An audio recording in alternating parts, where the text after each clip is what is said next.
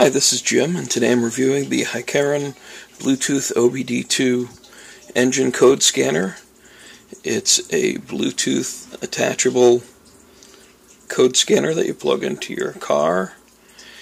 It works with um, with software such as Torque Pro, uh, which is actually included on this disc. Um, what's with the Panda disc, guys? Is everybody in China use a Panda disc? This is like the fourth one I've seen. I mean, yeah, he, he's a very confused looking panda. But anyway, so this right here, underneath the dashboard of the car, is where the where the device plugs in, and I assume gets its power from.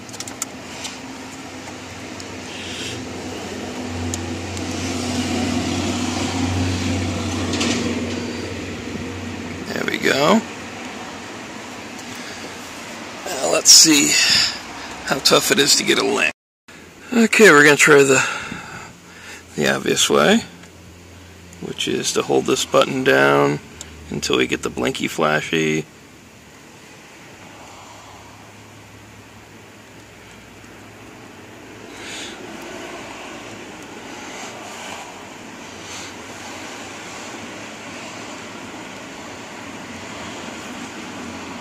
Is that you? There it is. Gotta enter the pin. One, two, three, four. Done.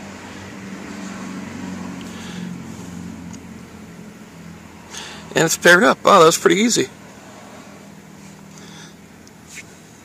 So now that we know that works, we're going to try the accompanying software, see how that goes. Come on, get back to home screen. There we go. Alright, so we're going to go to torque.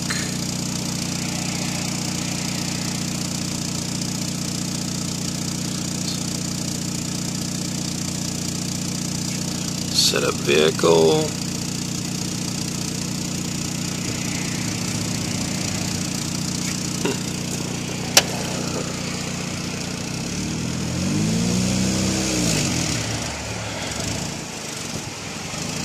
Oh, pay attention to that. Let's see. No, no, no, no, no. Create new profile.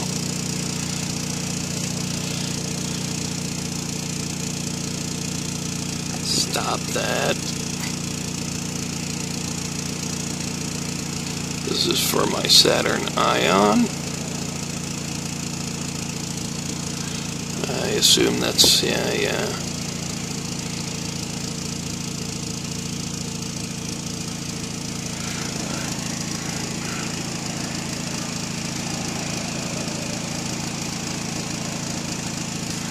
Okay.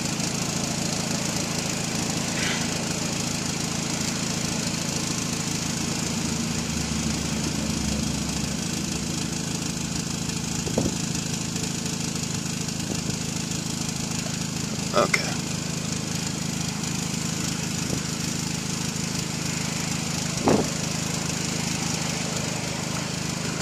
Let's see what it's getting for fault codes. Tap here to scan for fault codes.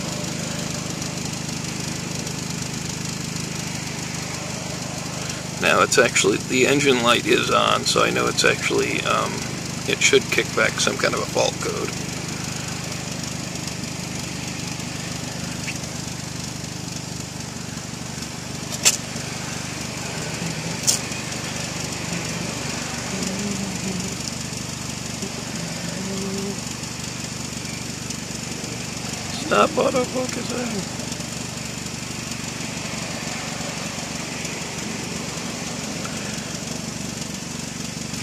Okay, so the powertrain one I've, I've heard about before. And the evaporative emission control leak detected is actually because my gas cap is loose. Go away.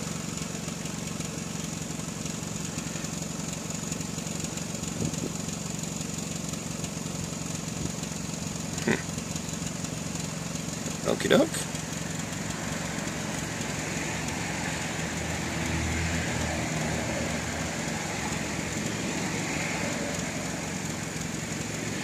Real-time information.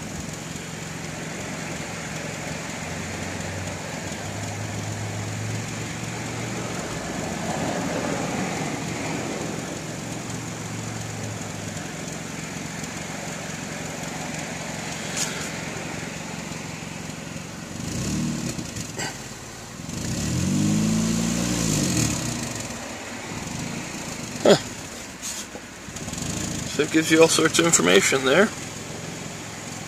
Pretty neat, huh? Clear log, start logging, add display, toggle, calorie layout settings. Huh. So you get all sorts of settings to, to find out what your codes are and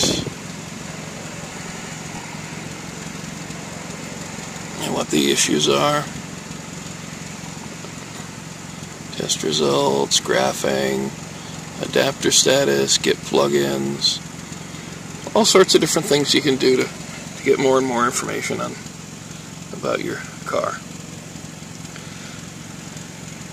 So anyway, this is Jim. I've been reviewing the OBD2 adapter. Seems to work very nicely. Um, anyway, I hope this review has helped you guys out. Have a good day.